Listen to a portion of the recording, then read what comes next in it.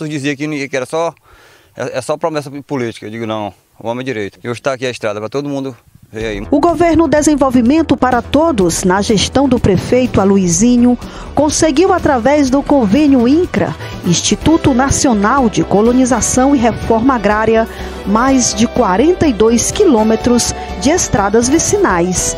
Uma obra que foi esperada por muitos anos.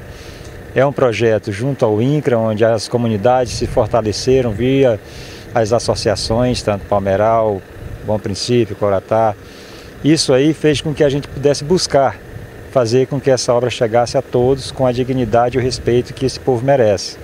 Então nós, através de um esforço concentrado juntamente com o deputado também Hildo Rocha, que foi uma das pessoas que ajudou a trazer esse projeto para o nosso município. Então a gente só pode agradecer ao esforço dele juntamente com o nosso. E que o povo hoje é o beneficiário dessa obra. Os mais de 42 quilômetros de estradas recuperou os trechos que interligam os povoados Mangueira, Macaúba, Simboca e Coroatá.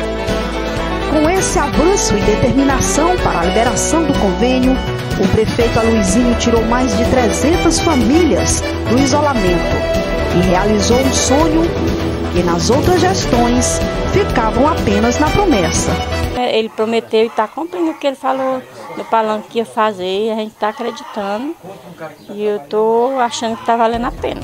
Depoimentos como esses foram relatados por todos os moradores dos povoados que receberam a ampla estrada. Esse morador nos relata como era o sofrimento antes da chegada da estrada. Antigamente, como era que vocês faziam para trafegar até chegar em Esperantinópolis? A gente, quem tinha um animal, um burro bom, ia de burro. Quem não tinha, tinha que ser na costa, certo? E sofrendo. Às vezes passando fome, né? Muita lama, espinho no caminho que tinha demais, enfrentando a noite, que sabe, não dava para ir o dia, às vezes a gente chegava à noite, aqui de volta, e daí para frente. Né?